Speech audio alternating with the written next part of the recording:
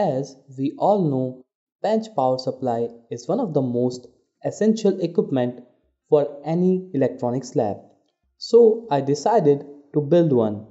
And in this video, I'm gonna show you how I built this lab bench power supply for my lab. Also, do subscribe to my channel and like if you like my content to keep me motivated. Now let's power it on. These big female sockets are for variable voltage output.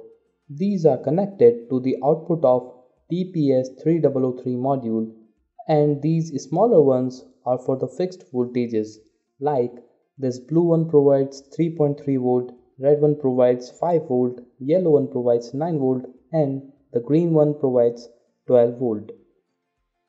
Now just take a look to its display. It is showing set voltage, set current and the input voltage.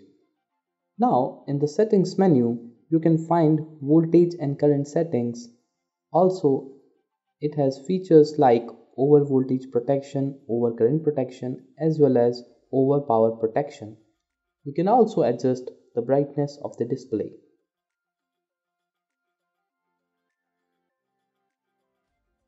Now it's time to test variable output of this power supply.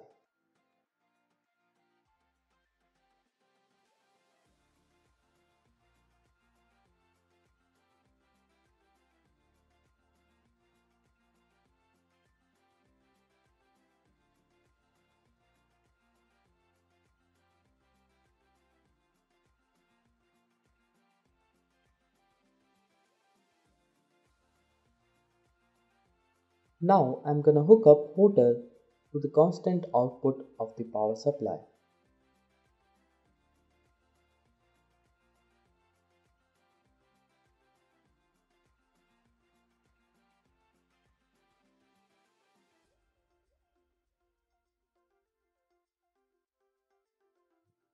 For enclosure, I have decided to use this 6 module electrical junction box.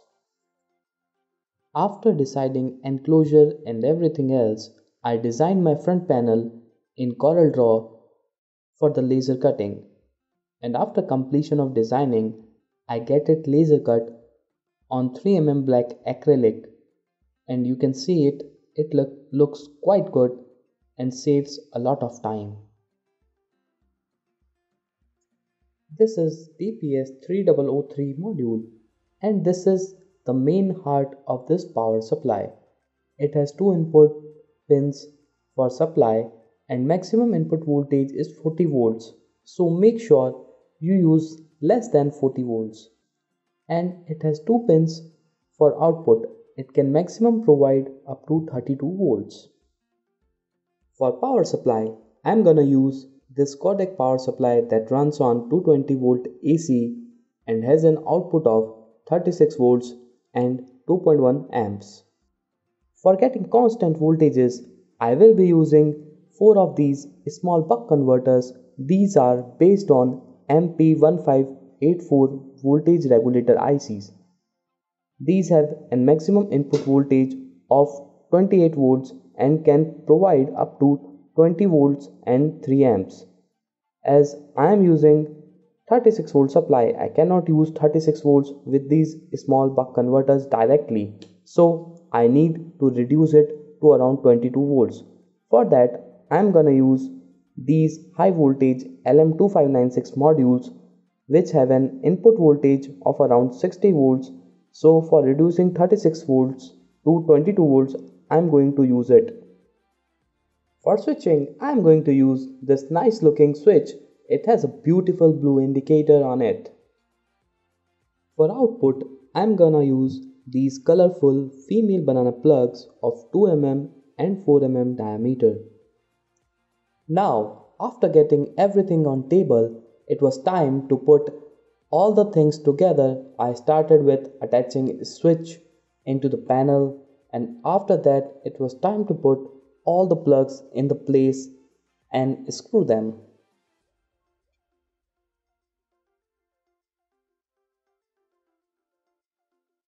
After placing everything on panel, it looked like this.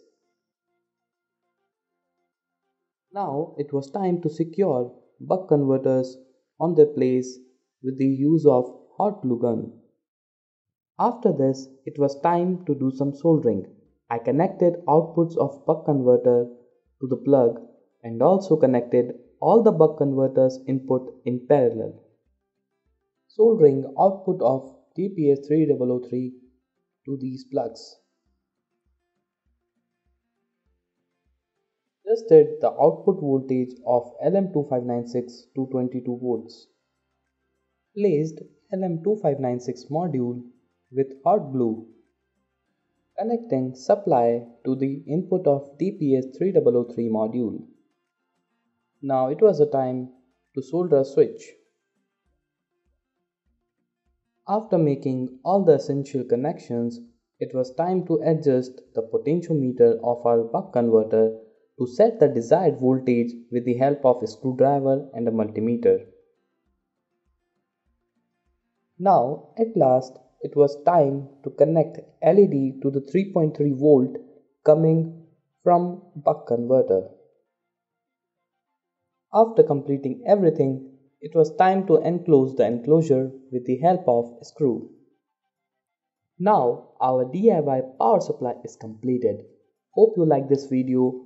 Don't forget to share and like. Also make sure you subscribe to my channel and press the bell icon so that you never miss my video.